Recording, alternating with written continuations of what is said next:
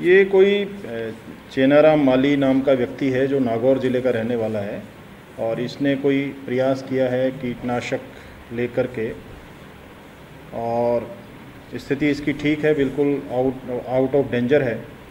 ये कोई एक नोट इसने ज़रूर लिखा था जिसमें इसने कोई अपनी व्यथा बताई है कि साहब कोई माइनिंग होती है और लोग धमकी देते हैं, कोई सुन नहीं रहा है। इस तरह की बात इसने कही है।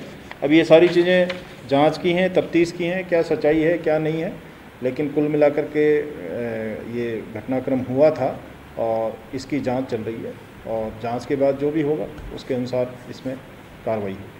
सर ये स्थिति कैसी है आउट ऑफ़ डेंजर है कोई दिक्कत नहीं है ये कोई पर- क्योंकि आपने पुलिस पूरी लेके गई है बत्ती का बता रहे हैं हो गया है वहीं मौके पर ही चूँकि इसने अटैम्प्ट किया तो हमारे लोग वहाँ पे थे और उन्होंने इसको, इसका जो अटैम्प्ट था, उस अटैम्प्ट को काफ़ी समय रहते इंटरसेप्ट करने से और हाथों हाथ उल्टी करवा दी इसको और हॉस्पिटलाइज करा दिया।